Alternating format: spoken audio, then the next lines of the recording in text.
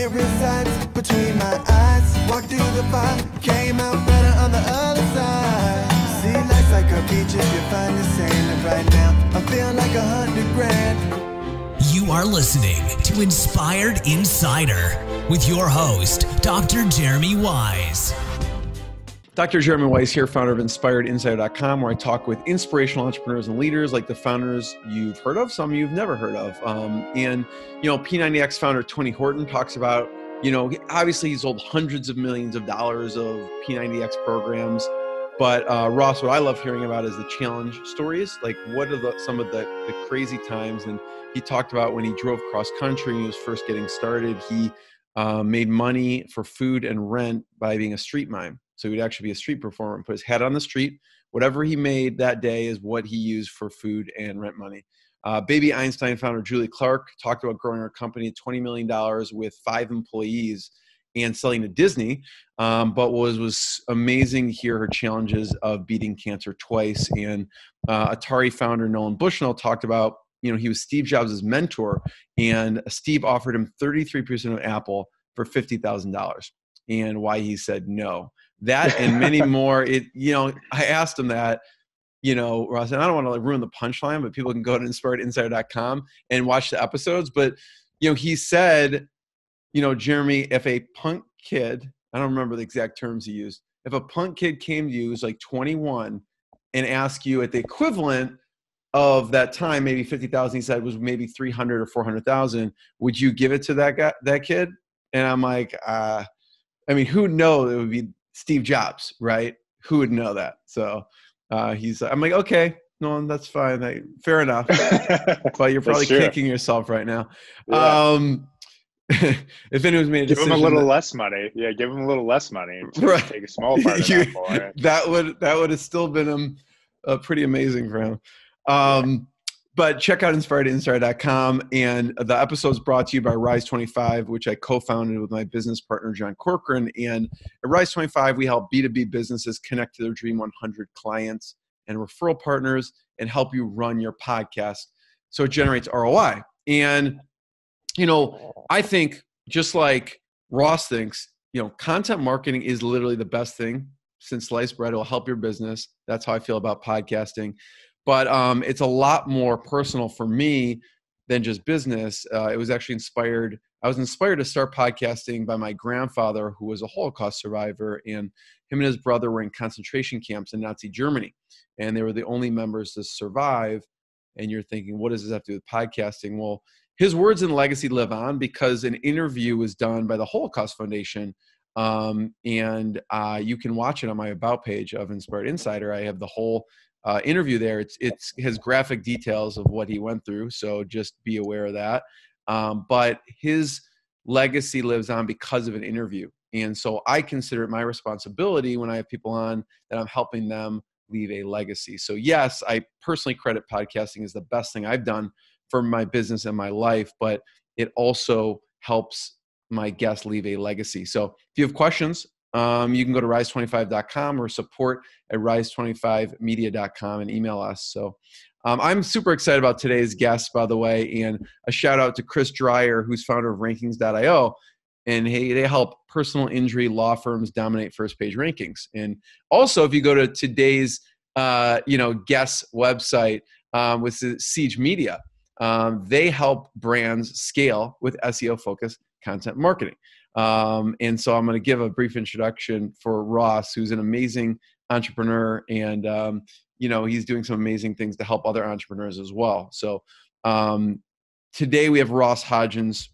Uh, Ross Hudgens founded Siege Media in 2012. Siege made the Inc. 5000 each of the last three years and currently has offices in San Diego, Austin, New York City. In 2018, Siege was also named one of Inc.'s best workplaces and there are more than 85 people working on creating amazing content and helping companies get to the top of, top of search engines and get more clients.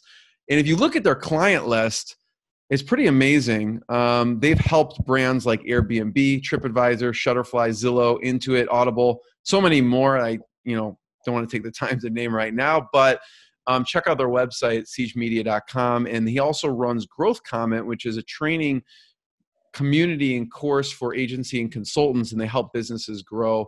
And he runs that with Jonathan Dane of Client Boost, which has also been a guest on the podcast. So, uh, Ross, thanks for joining me. I appreciate it. Yeah, thanks for having me on.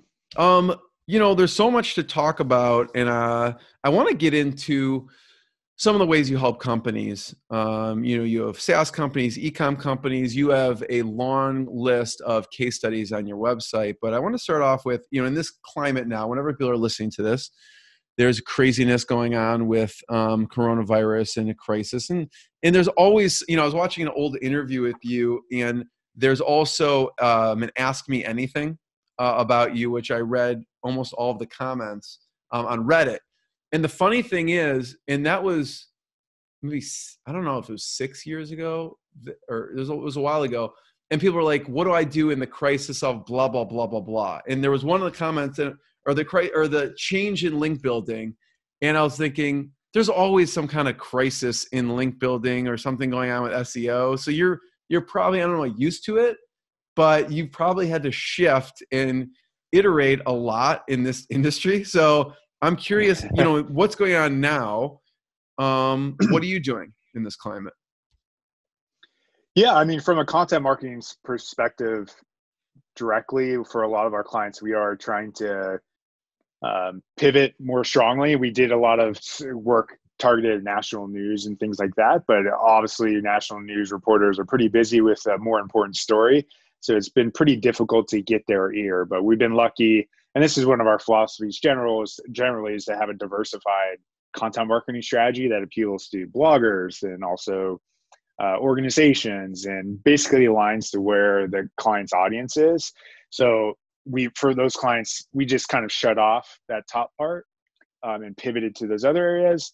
Although from um, the client side uh, for, we haven't completely excluded it. Someone on our team who used to work at upworthy had a great suggestion that people want good news right now. So there's a yeah. phrase called counter programming where you can also give reporters good news and that'll give you a shot to kind of get in the door. I, I still don't know that you really want to pry yourself into that door, but um, we found some effectiveness with that and also elsewhere too, because people just want good news right now. So do you find that it's better to sell you said counter programming. It's funny how counter programming it's like the good news because the program is all about negative things, or a lot of yeah. things are. Is that exactly? Yeah. yeah, that's the thought process. Is like something that's uplifting, um, positive story, uh, funny. Like those kind of angles are going to be more likely to get covered versus like even something slightly negative that, but maybe is not about coronavirus. That often actually checked a lot of boxes for national news because it's like something that's a hot button subject but that's just not working right now because they just have they have stuff that's going to get more clicks and reads for them uh, for obvious reasons. Yeah i would love to hear your philosophy around content and i i tell everyone go check out their blog and obviously you have some amazing videos that you've produced and also done interviews with and um, there was a video you did about uh, or a couple, uh, and I'd love to hear the your philosophy around the keys for viral content. There's a you check out. There's a video that you talk about how to promote your blog to a million yearly visits. Um, but and probably has some of your philosophy around it, but just in general, um, maybe some of your philosophies around um, creating viral content or just creating good content. Yeah, I so um, interested to see or hear what post that is in particular. I, I generally say we actually don't try to create viral content that often. It's a mm. nice side effect that happens. But I do think one way we describe our philosophy is singles. We try to go for singles, doubles, triples consistently versus the big um, thing that can strike out. Like you try to go for home runs, you're going to strike out, right? Yeah. You're going to hit some home runs too, but um, we also believe that's kind of what SEO Google is looking for is like a real brand is not just these giant viral sp- spikes. They're incremental growth um, in terms of links to, to that site and also just the content generally. And also brands are built by a consistent, I describe it like 2x experience, an experience that's even like 1.2 to 1.5x than ever better than everyone else. If you do that 40 times, if you do 40 podcasts that are great, and they're, they're 1.2x better than everyone else, they're only going to listen to you. But if you just just one big thing that's once every three months, you might not even build a brand off of that, honestly.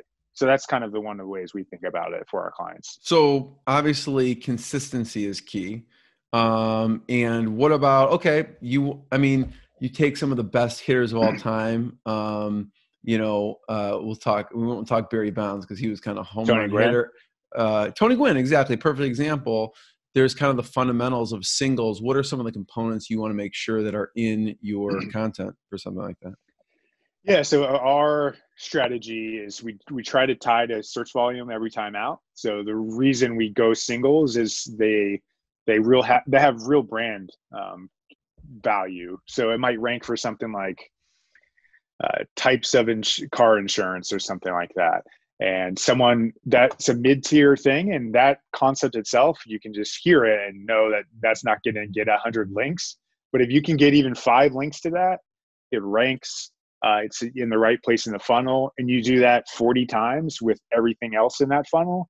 That's far more valuable than um, even one piece that goes viral gets 50 to 100 links one time and then you don't have that search volume compounding um, but that's one that's one component also we try to get content ranking for our clients which allows them to naturally acquire links too so that's just a na- uh, part of our strategy as well is we don't want to be a manual link building company we want to more accelerate Yeah. the velocity of your own link acquisition Yeah.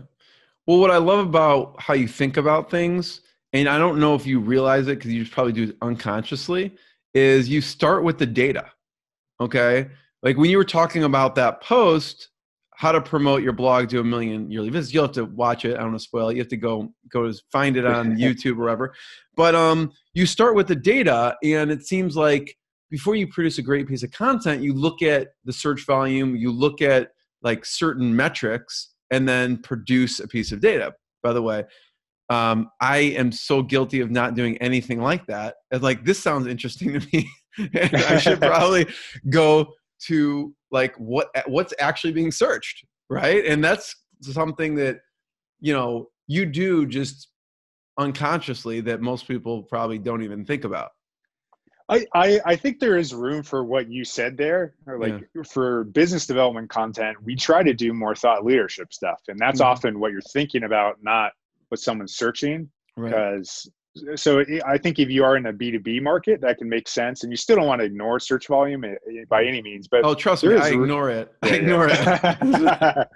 so there's a balance. I think there's a balance. There are people that use that too much, and then they go to their sites and they feel robotic, and they can't build a brand off that either, eh, which is its own problem. Yeah, so a combination of the two. What are some? I mean, you mentioned some, and you've had, uh, you know, Rand Fishkin I've had on, and uh, great book, Lost and Founder. Um, shout out to him. You've had him on, um, which was good. Also, um, you know, what tools do you recommend people look at or use? And I know Moz is is one of the ones you've been featured on Moz.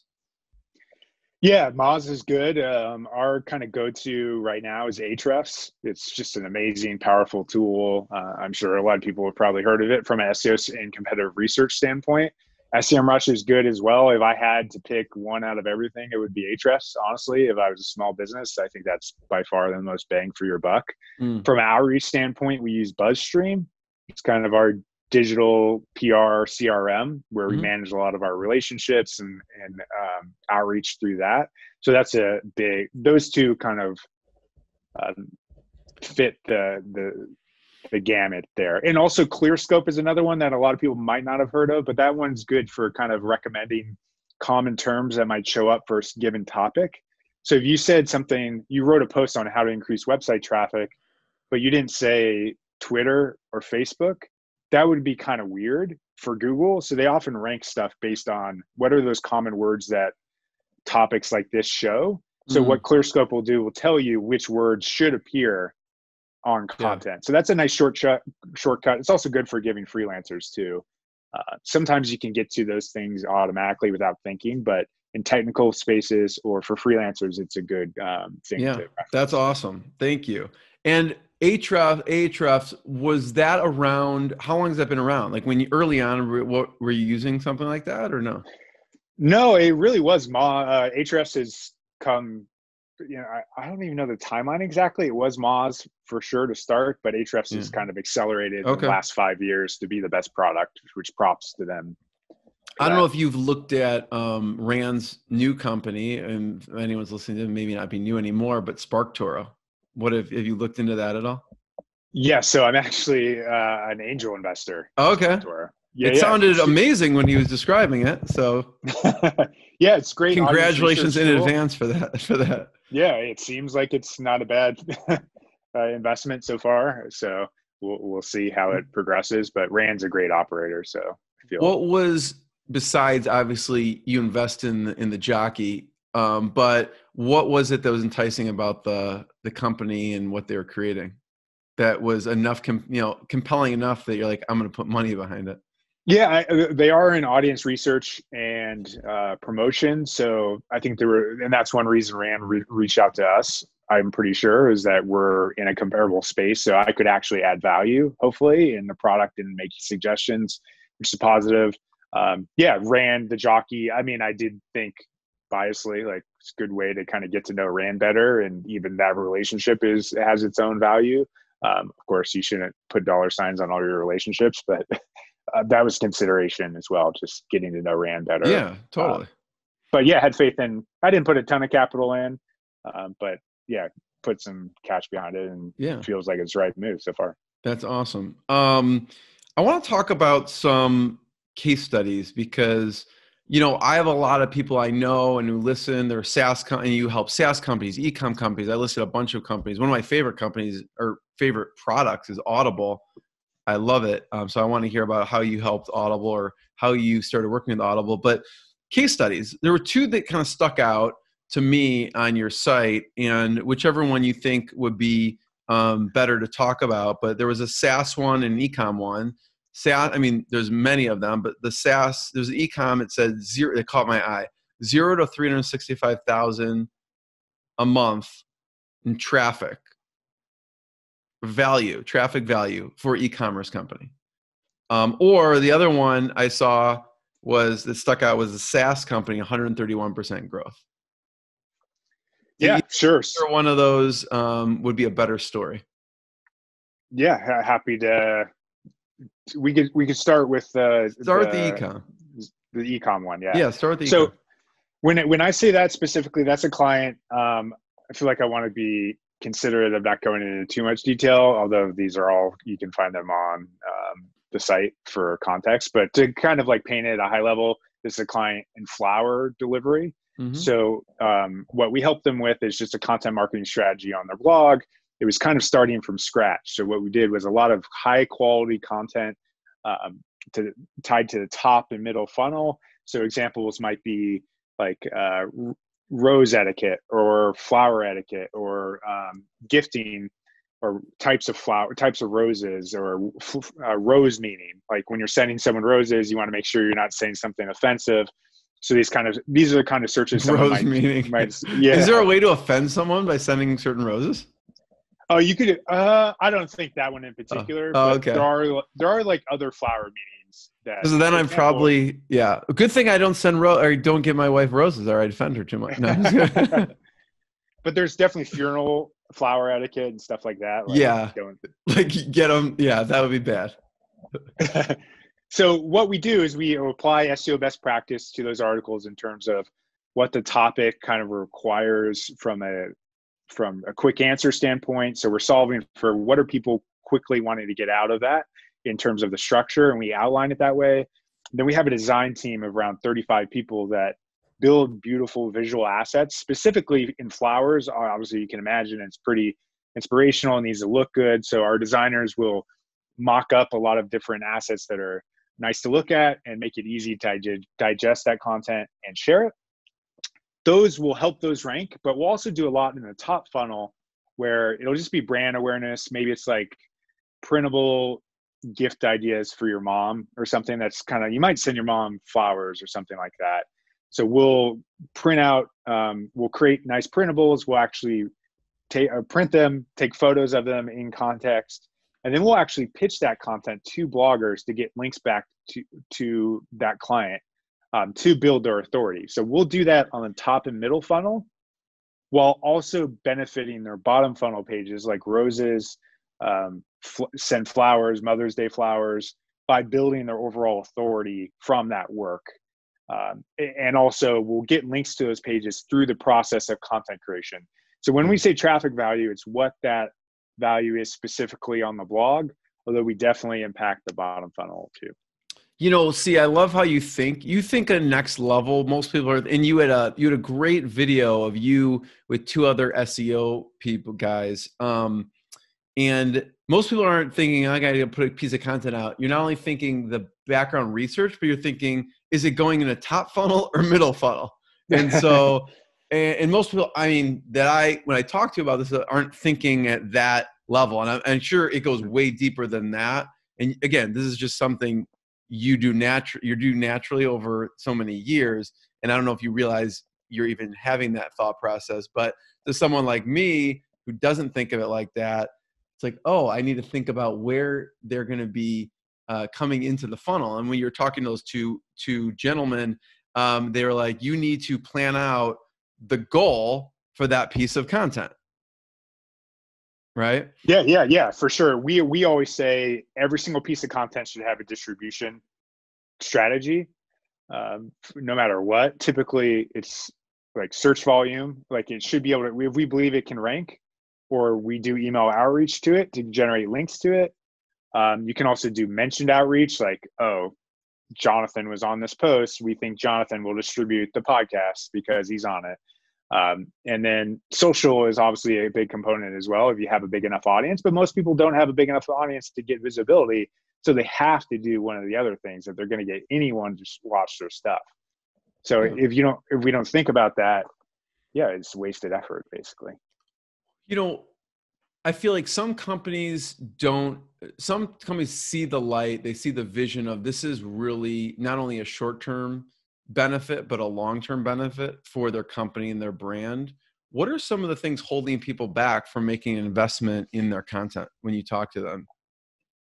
Yeah, it's, it's a significant investment for one. Uh, SEO definitely takes a long time. So if you're a brand new site, and it kind of relates to the SaaS traffic growth case study you mentioned earlier. Mm-hmm.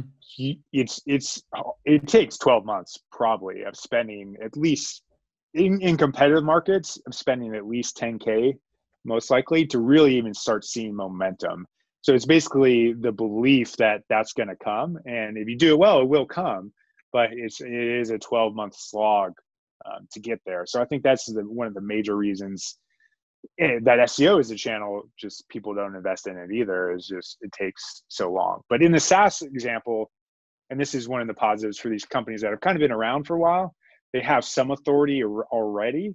Um, so we were able to get them more quicker growth, which can often be in six months if you already have a baseline of authority. You've been around, maybe you haven't been deliberate, but that has helped you potentially accelerate the pace of results that a brand new website would not have. Yeah, and I look. You look at your so anything else around the SaaS example uh, case study that would be important with the 131 percent growth. Yeah, I mean another component we haven't really touched on that we do think about with new websites is we do do a keyword opposition at benefit analysis. So what this is saying is basically how valuable is a topic and then how competitive is it so this allows newer businesses to also go after keywords earlier that actually have value to them and have a capability of ranking for um, as compared to a very competitive term like Mother's Day flowers. No brand new flower company can rank for that in 12 months, but maybe they could rank for a long tail version of that. Um, and if they prioritize that in their content marketing strategy, they can keep the lights on find ways to keep sending them money. But that's one thing we do think about and, and applied in a CleverTap example. It's like going after lower difficulty stuff until we can level up to the higher difficulty stuff. What's your philosophy, Ross, on you know taking an amazing piece of content that you helped a company produce and paid traffic versus organic? Well, often in the in the top in the middle funnel areas, it it's not going to convert. It's more we help them build retargeting funnels and let their paid social teams kind of do that work for for that. That's mm-hmm. the recommended activity. Mm-hmm. Um, on the bottom funnel, middle funnel can be used in that way. We we honestly, and I think this is one of the reasons we're successful. We kind of describe ourselves as we will build the audience for you, the qualified audience, and then let you convert it. So often paid social teams will then take what we built and do that piece, but we don't actually do that specifically ourselves. Um, and kind of let the people who are experts, like Jonathan Dane in Client Boost, who was on your program, um, kind of lean into that side of it. Do you work in conjunction with with a lot of those those people so that because I could see they work really well together. Yes, we do frequently. So we're very complementary. We share clients with Jonathan as an example and often work with paid social teams. We do create native social assets for our clients, and that's kind of the way we describe it. It's like we'll support your social and your email, but we're not actually going to be writing the copy or like managing that strategy as compared to on site. Mm-hmm. Over time, over you know, um, when you started the company, I'm curious of some of the what you consider the big wins, like the certain companies that are kind of, wow, I'm working with this company that you were especially proud of? Yeah, so we, I mean, we got some very early on where I was lucky enough to get asked to speak at MozCon, um, mm-hmm. like very early in my career. And that got us Shutterfly and um, ProFlowers and FTD. Mm. Like they were in the audience and heard you speak? Yeah, mm. exactly. Mm and both are still clients today. So that's wow. kind of uh, one of awesome early relationships that we established that I'm proud of. Definitely, I'm proud of. I'm working for clients like Audible and Intuit and um, those types of clients. And uh, Casper is another one that we love. And um, yeah, I don't know what you can or can't say. So, so you know, feel free if you can't answer. But what are some of the things that you have found um, working with Audible? Yeah, I, I, can't share too much. I would say a lot of the things we talked about are pretty applicable mm-hmm. here in terms of we really do a lot of the same stuff for most of our clients. It, it can tweak the way it change the way to kind of describe in broad swaths how it, it changes for bigger brands. Not always does an Audible need ongoing link building because they have so much link authority already. So at that point, it's just more about high quality content and executing that. Um, and it's basically doing that uh, at scale will allow you to be most effective. Um, and that's what Shutterfly is a similar case where they have big brand, ton of authority. It's often that mid tier that needs the extra boost from link building to manual link building specifically to kind of get it over the hump. So how does it work? Ross, let's say Purple Mattress comes to you. Can you still work with them if you're working with another mattress? Uh, no, uh, we definitely do. We try to avoid um, conflict of interest wherever okay. possible. Got it. Um, and so, what I wanted to hear about is, um, you know, Growth Comet a little bit as well. Um, and you help a lot of different agencies, entrepreneurs, and and if you check out growthcomet.com, you can kind of check out, you have an amazing curriculum there.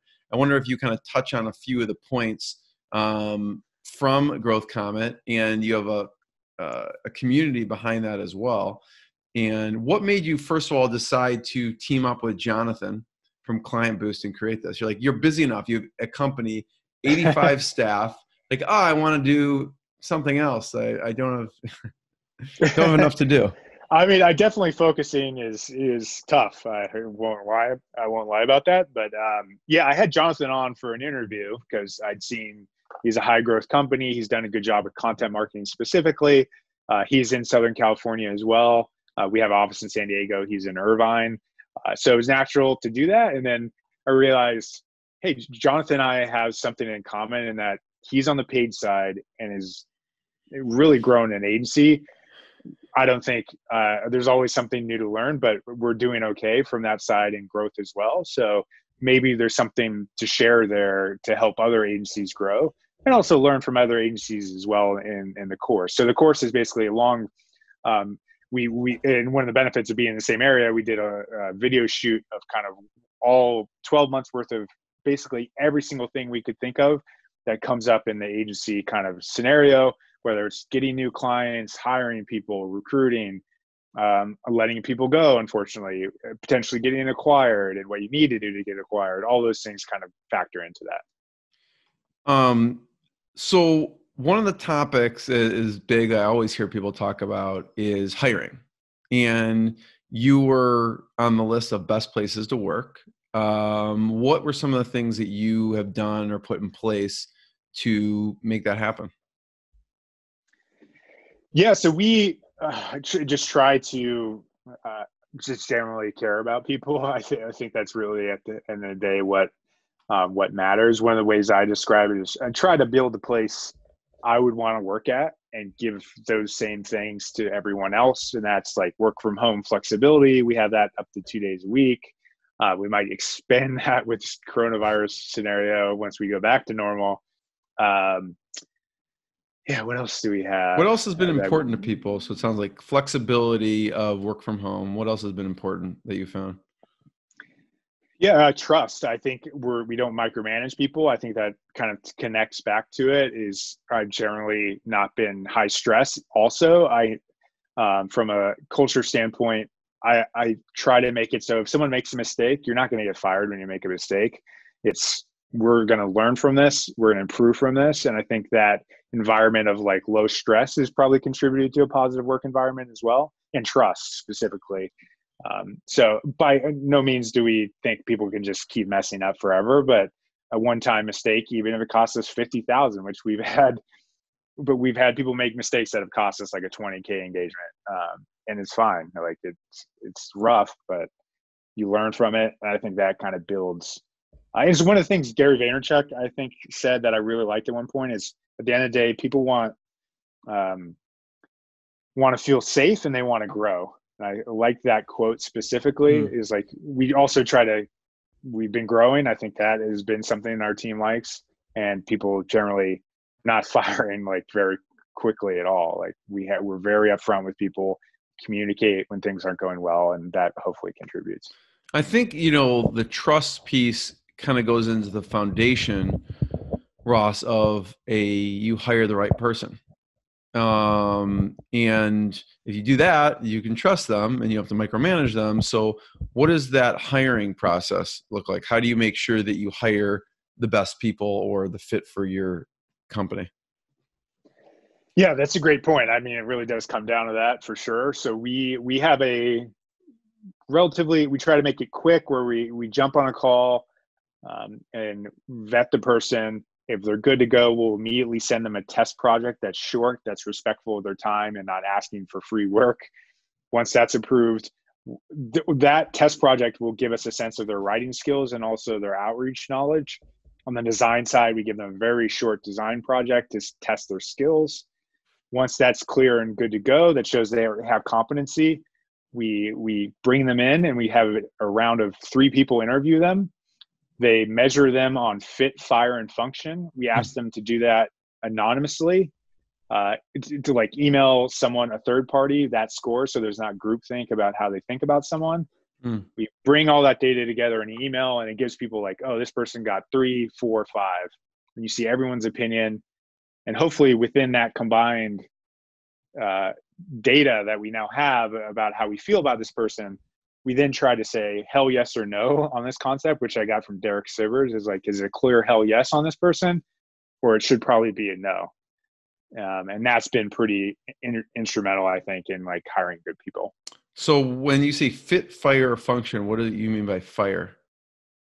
So fire would be like they're brand new in their career and they've launched their own website on the side. Or fire, another example where it could be low is they really haven't done research about siege at all. Mm. Um, but like their passion person, or fire.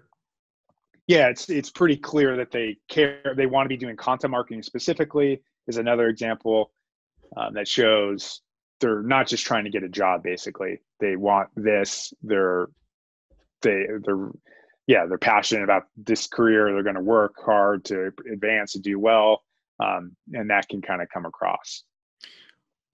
You know, you've grown to 85 or more people over time. What were some of the key hires along the way? Like position wise? Yeah, uh I do think our video team has been big. Like that has helped differentiate us having a great video person, Kara Brown, who's on our team, because a lot of our competitors do not do that. So I think it creates a quality effect that they, they can't leverage. Um, I do think it's just a lot of great hires over time for sure. Yeah. I, I What about early on? Like early on, I imagine you were doing the work, right? It was a person of one, and I, I, you said somewhere to someone, uh, I, I don't consider uh, it was an accidental entrepreneur or something like that. Um, so when you first started, what was kind of the first major hire? Like, okay, I can't do all this stuff. What was the kind of the next next level? Yeah, I was still doing link building at that time, and yeah, hired a great person, Brian Vu, who actually is still with us, Hmm. and he, yeah, was just great, and he, I think we got lucky, and, and he built a lot of trust. Uh, he like sent a thank you note after the the new the email or, or the interview um, that was handwritten, which was great. And it was like clear sign this guy gets it and is awesome. But basically, had just made the decision at a certain point, like we have enough revenue I can hire someone on the side. I think at that point, I hired him as a contractor, um, and which often is often the case with newer agencies. We don't do that today anymore. Everyone's full time. But he, yeah, we kind of started them in that direction, and that kind of lowered the. It felt like it lowered the risk profile to to get going there. And then at that time, the priority was just taking the load off the link building, or was that what it was? That was the position you were looking for? Yeah, pretty much. I mean, it was very. It was seven years ago now, so we did do more manual link building without it connected to content. So we had him, and then a hire shortly thereafter was a writer who actually ended up being a unicorn. Barbara, who's also still with us, and she's a front end. She actually had front end development and WordPress shops, so we transitioned her into a, developer actually because she was even better at that. So that was like a really lucky hire. I don't know how early we would have hired a developer otherwise. But Yeah. Yeah. And, you know, because of, you know, in general, a lot of founders, you know, to it's a, you know, full time job, just helping the company grow and doing all the pieces there in addition to having to do other work within the company and i'm curious the different positions that will allow you to kind of remove yourself from the day to day so you can focus big picture. So one was you know obviously having someone do some of the actual uh, the technical work and writing what were some of the those other key positions you put in place so you could kind of remove yourself from the like 100% day to day yeah, uh, it started with link building and writing, and then it's slowly scaled up where we hired a an EA um, who helped me with a lot of just office management type work. Um, that was relatively early. I think we hired them part time at first, which is what I would recommend versus kind of jumping in full full go. They also helped with yeah office management, payroll, those kinds of things that I just didn't need to be spending my. There wasn't a high leverage use of my time um, eventually got people to help me with social media. I was almost doing that all myself. I did think the video person was a layer of saving me time. It was a business development person because before I was writing all of our content, and this person allowed me to get in front of a camera and do something relatively quickly that still felt high quality, which wasn't possible before, where I had to write a long post, put a lot of thought in. I still put a lot of thought into it, but you, you get what I'm saying. It helped remove some time. Um, so I highly recommend video for that reason for agencies and a Oh, lot of businesses. totally. Yeah.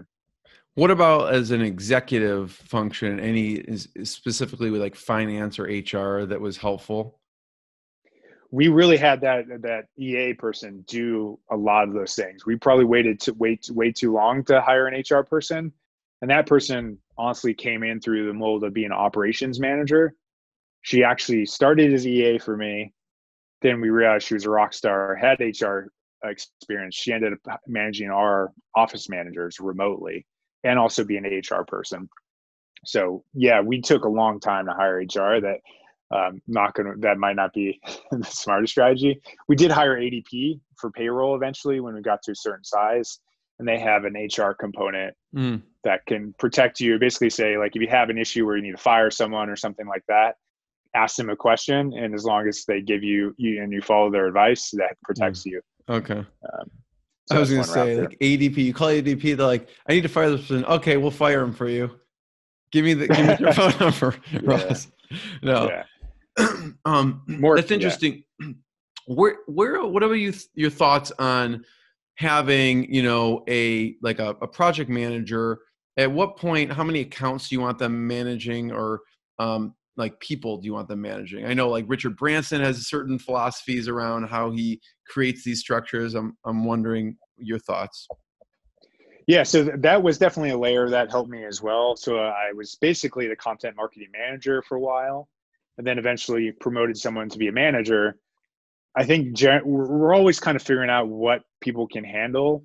I Yeah. think the way we structure it now is around five direct reports per content marketing manager is felt about right for us for a scaled up manager.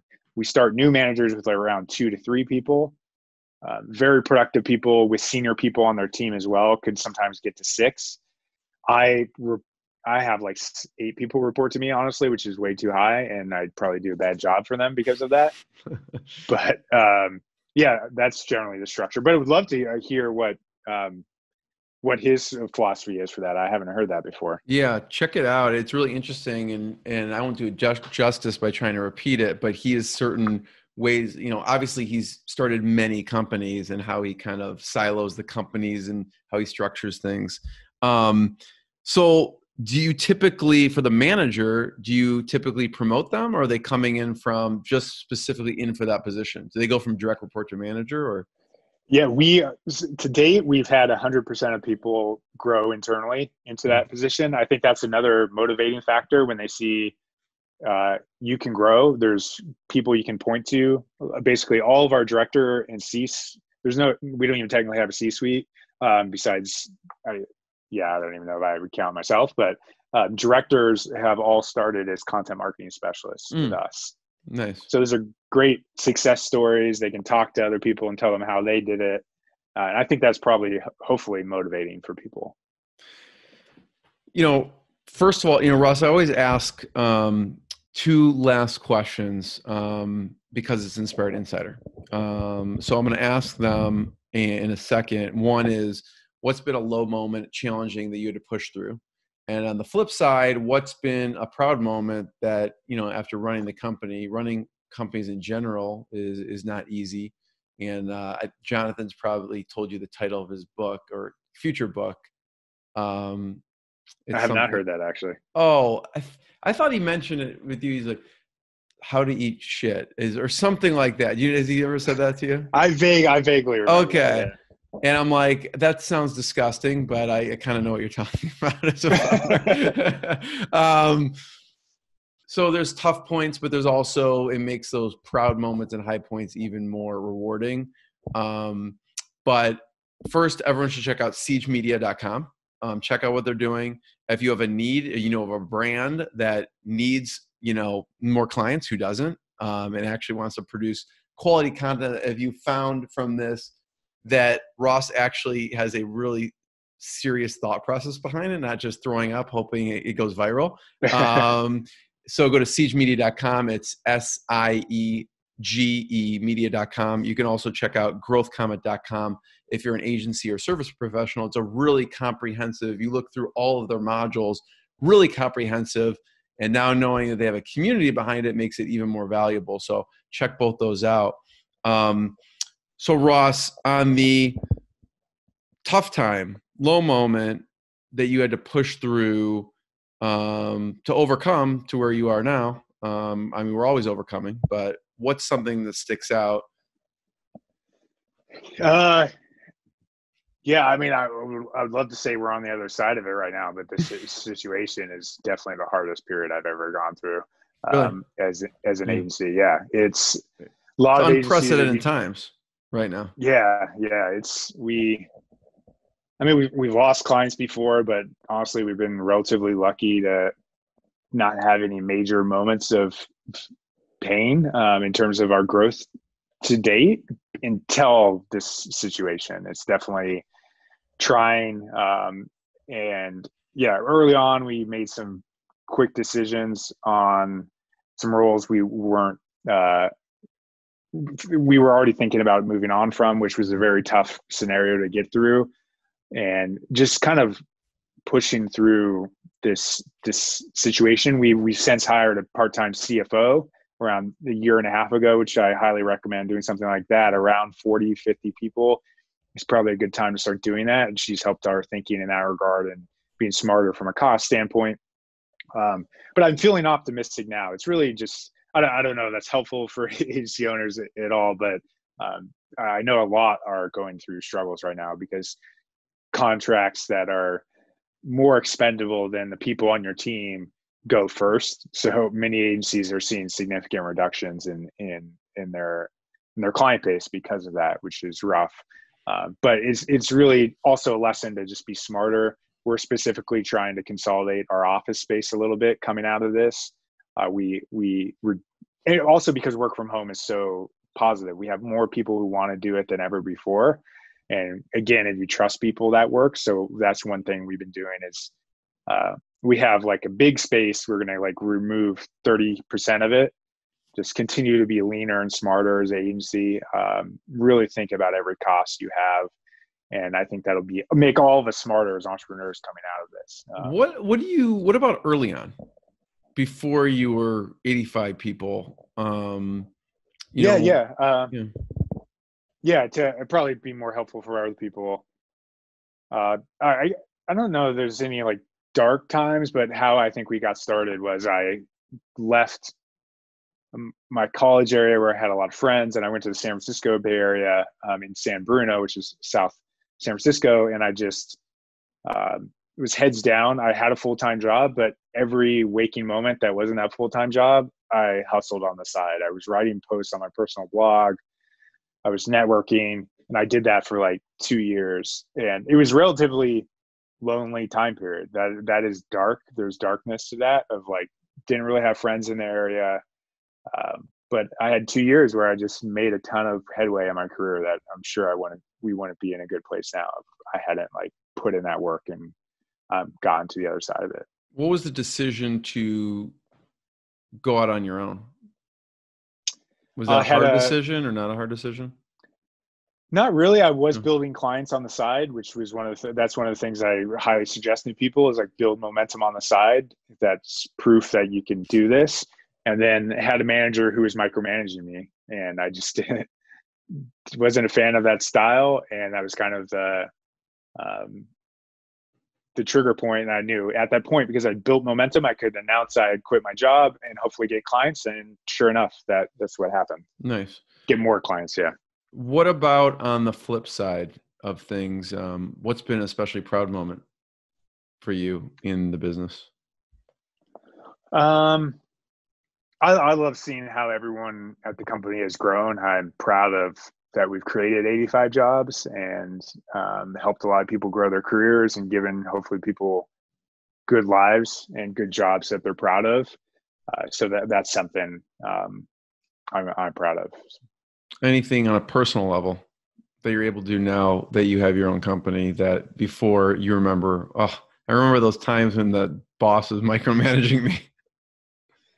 Yeah, I, I, think that's definitely part of it, just autonomy. But I think also as an entrepreneur, it's suggest everyone to try to create that intrapreneurship. I think is the word where you have it within a company. Um, but that that's one of the things. Yeah, it's, it is flexibility, which we didn't have before. But I think you can also have that, and I did have that at the last company until this boss came in. So that's we can create entrepreneurs even if they don't have to be stressed about payroll for everybody. Yeah, intrapreneurs. Yeah. Yeah, yeah. Ross, thank you. I want to be the first one to thank you. Everyone, check out siegemedia.com and growthcomet.com. Um, and I appreciate it. Thanks, Ross. Yeah, thanks for having me on. What I got, you can't buy. It resides between my eyes. Walked through the fire, came out better on the other side. See, life's like a beach if you find the sailing right now. Feel like a hundred grand.